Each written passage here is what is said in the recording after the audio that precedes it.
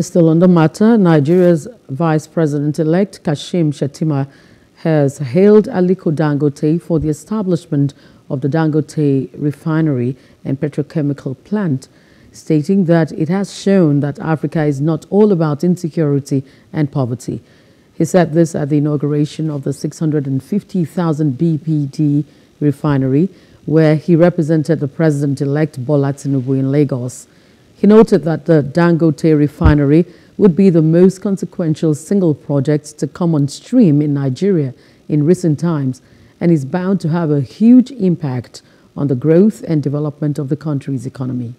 Congratulate the Aliko Dangote Group for this gigantic project and also use this opportunity to assure that the incoming administration will do whatever possible to upscale and sustain the tempo of this project.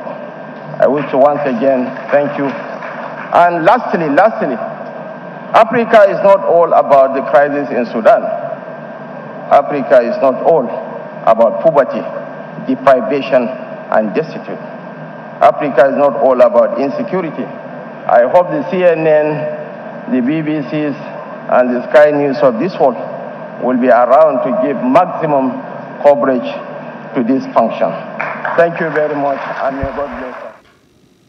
Hello. Hope you enjoyed the news. Please do subscribe to our YouTube channel and don't forget to hit the notification button so you get notified about fresh news updates.